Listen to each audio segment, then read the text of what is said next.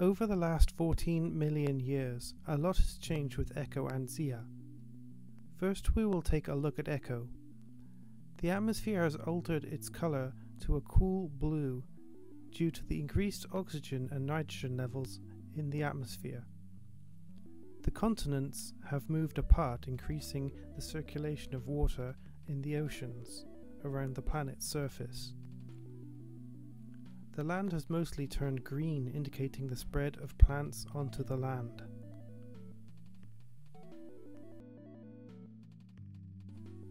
This cladogram shows us how the Siphon robustus has evolved into four new marine species and one amphibious form that has undergone carcinization. Anim the animal at the top of the diagram is the Oculus acuti, or keen eye. It is the first predator to evolve on Ecco. Next is the Testae spiculi, or barb shell. Then we have the Falsum auxilium, the false kelp. Then the Dorsum spinosum, the spine shell. Then finally the Aenium pisces, an animal built for speed. This animal is an omnivore generalist.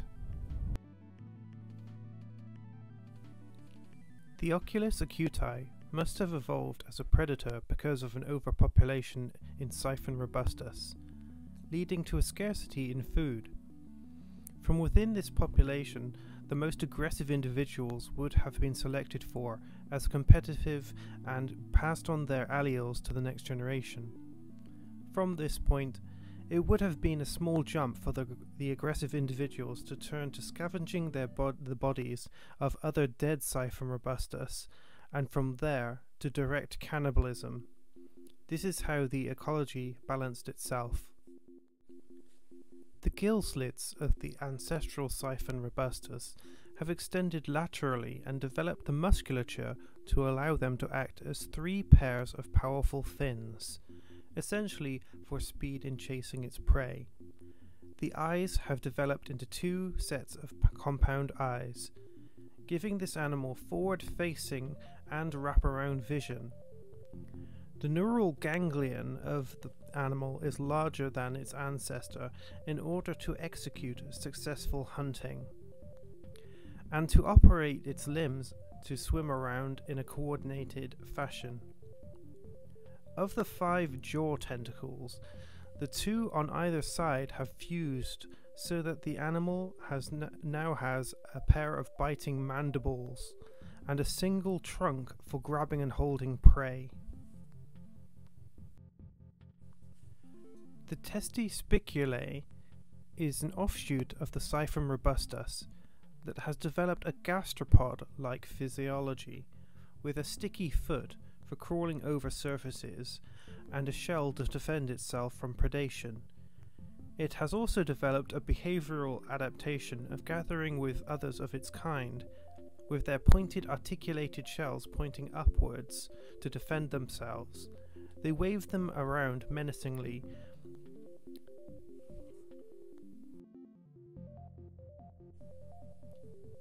The false kelp, Falsum auxilium, evolved a long snake like body that allows it to camouflage itself by coiling itself around the stems of the Nervo Sphera. When swimming, this animal moves in an anguilliform motion. No longer relying on a siphon for locomotion, the organ has disappeared completely.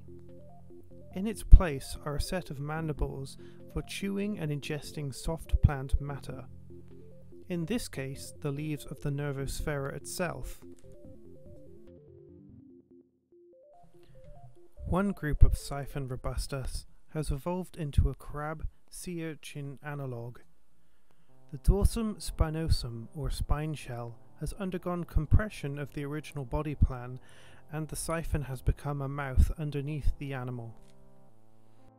The legs of the animal are supported by a hydrostatic skeleton, like those of a velvet worm.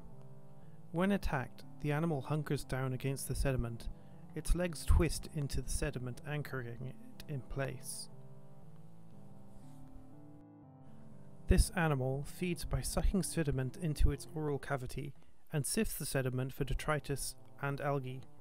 When finished, it regurgitates the clean sediment back onto the sea floor. It then moves on to a new location. The spines on its back offer it some protection from the oculus acuti, but if it is somehow rolled over, its underside is vulnerable to attack. In the rock pools of the intertidal zone, we find the remnants of a siphon robustus that perished and was washed ashore. The dorsum spinosum scavenged the remains. We also see a new variant of the Nervo Sphera growing over the boulders above the waterline, producing self-supporting stems with air-breathing leaves. We shall call this new variant the Recens spiritus. The last of the Siphon robustus descendants is the Aenium pisces. It has evolved a heart to pump blood to its fins and a tail to allow it to swim very quickly to evade predation, and has a larger brain, and its body shape is very streamlined. Internally, a cartilaginous skeleton has developed, allowing it to move faster by creating a structure for its musculature to hold on to. It has retained the main tentacle as a grasping trunk and has evolved camouflage patterns to break up its outline. We sent a member of our crew further inland, beyond the rock pools, and found mounds of a thick purple moss like plant covering the ground.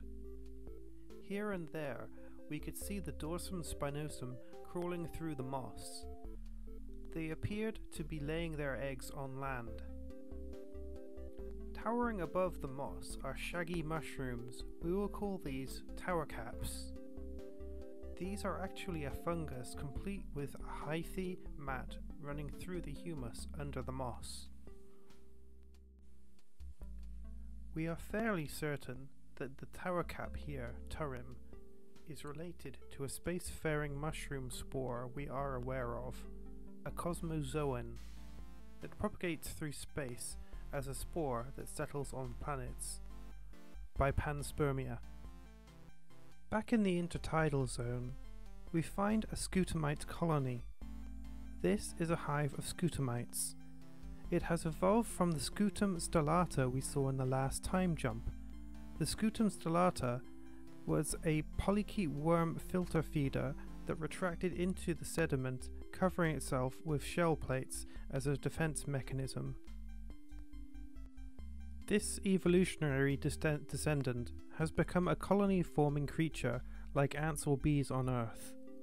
The colony works together to build these spires, which the scutamites move through a tunnel system to reach the node where they can extend out their filter feeding arms through into the water to feed some of the scutamites have barbed harpoons that shoot out at prey that are then dragged down into the tunnels to be eaten. During low tide, the scutamites excrete their waste out through the windows of their towers. They also periodically flex their arms out into the open air to pump fresh air into their tunnel systems. In the tower, the spires that they create lean inwards towards the land. The structure acts as an enormous comb, snaring animals and plant material indiscriminately that are carried inland by the tides.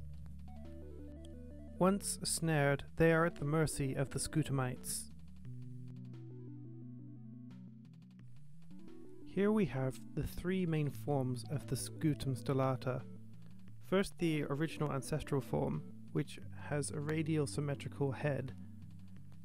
Next is the scutamite filter form uh, version, which has the filter feeding arms. And lastly is the scutamite harpoon form. You can see how the mandibles have been adapted to form these uh, harpoon appendages, and the eyes are larger to enable it to hunt better and its gills are facing backwards so they do not impede hunting. The scutamites construct their tunnels by secreting a chitinous glue that hardens underwater. It is used to build concentric rings which create the tunnel which they move through. The scutamites will also collect anything that they can carry that is hard to glue to the structure to reinforce it. This can be materials like sand, pebbles, or discarded shells, or whatever they can find. Now we will take a flight over to the planet Zia to see how the terraforming project is coming along.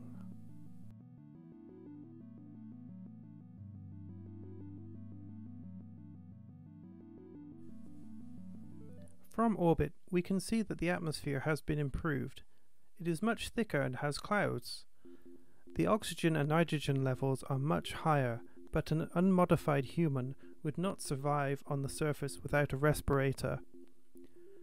Our records show us that the autofactories built ships to ferry ice comets to the planet and directed them to fall onto the surface. Most of the ice was converted into rain as they fell through the atmosphere.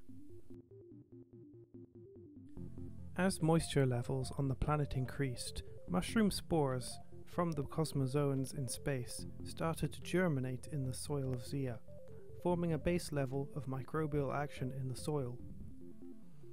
After this comet bombardment phase, the autofactories started introducing terrestrial algae and kelp into the oceans, as well as plankton. Simple plants such as moss were also added. A large canal system was constructed to help spread water around the planet.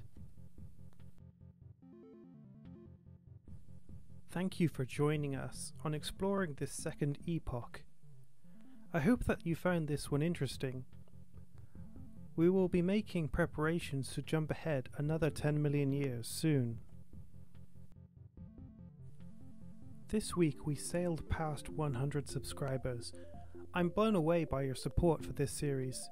If you have any ideas for the direction of the evolution of the species shown in this episode, I'm interested in reading your ideas. Until next time, bye!